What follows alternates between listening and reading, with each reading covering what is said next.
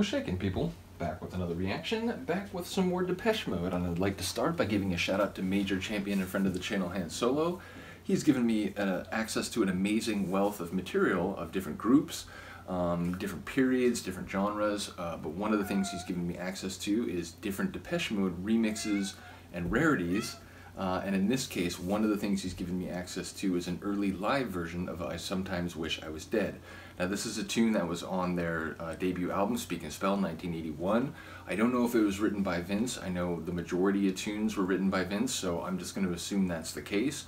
Uh, I found that tune interesting, and I talked about this in the reaction to that, that it has sort of um, a very dark title and themes, or at least seeming um, themes, despite having a very light and sort of bright synth poppy early 80s uh, sound. So I enjoy the the tension or juxtaposition or perhaps even contradiction of that. Um, so I'm curious what this early live version will sound like. If it, you know, maybe it will sound very similar, just perhaps with a different arrangement, or if there's actually a different flavor, but I guess we'll find out. Let's hear it. This is Depeche Mode, I Sometimes Wish I Was Dead, an early live version uh, provided by a friend of the channel, Hand Solo.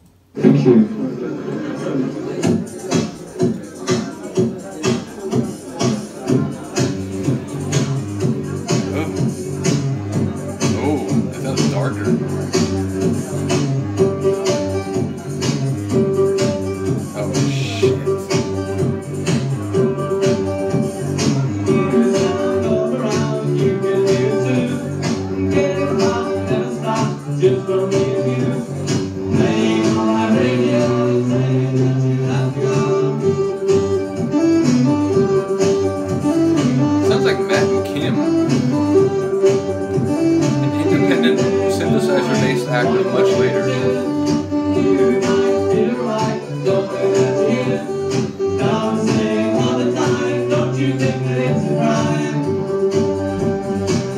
This is cool. It feels a bit more like live bandage, which I get it's live, but it feels more like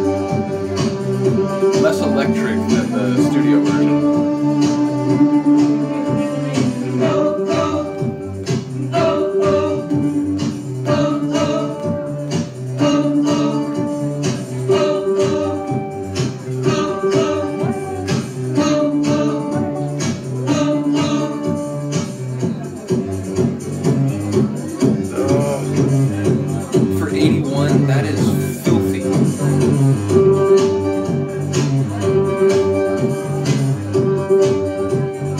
Like,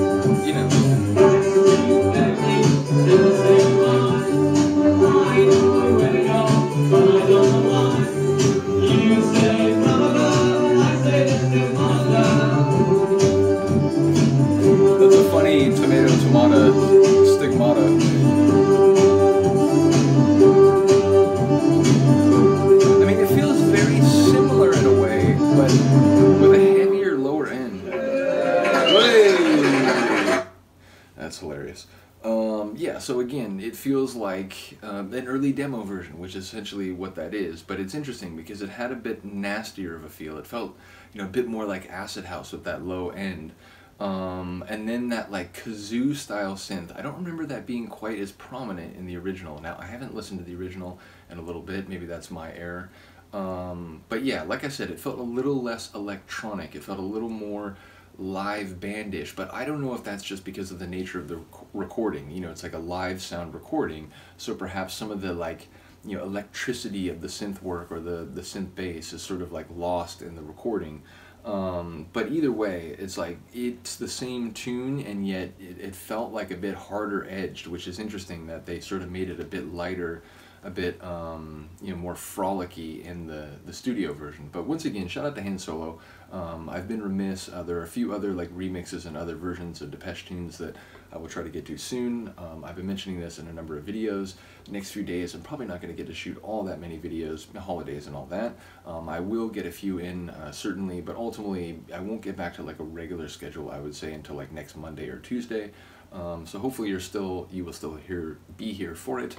Uh, do let me know what you think of this version. Um, again, I think maybe because of the like you know the clean sound of the studio version, like that one sounded a little bit superior. But I wish that version had the kind of wicked lower end synth bass that this one had. So in any case, let me know what you uh, let me know if you agree. Let me know what you think. I will see you next time. Peace.